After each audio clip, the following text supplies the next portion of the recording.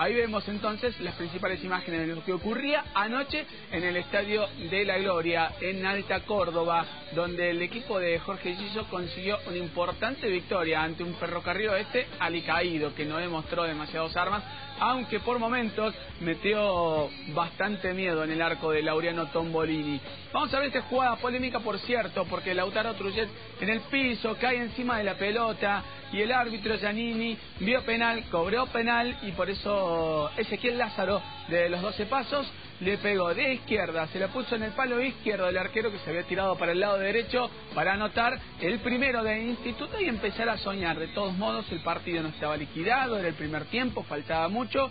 y Ferro de a poquito que empezaba a llegar al arco de la gloria mientras sus hinchas cantaban, escuchamos cómo cantaban y alentaban durante todo el encuentro. Tiro libre, Lázaro, después Rébola de cabeza y Nadalla de cabeza nuevamente para anotar lo que fue el segundo. Y ya lo dice el refrán. Dos cabezazos en el área es habitualmente gol y así lo fue. En este caso no hubo excepción a la regla y fue Nadalla el que con la testa le dio el segundo instituto. Nadalla, un jugador interesante, importante, que no viene jugando mucho de titular, no lo pone tanto Jorge Cisó. Y después, fíjense, este golazo de Toneto, impresionante, le dio de volea, de media distancia, le clavó en el ángulo, no llegó Laureano Tombolini para contener semejante disparo, ahí está, ya se moría el partido pero este gol le dio oxígeno y aire a Ferrocarril Oeste para meterlo en un arco instituto en los últimos minutos,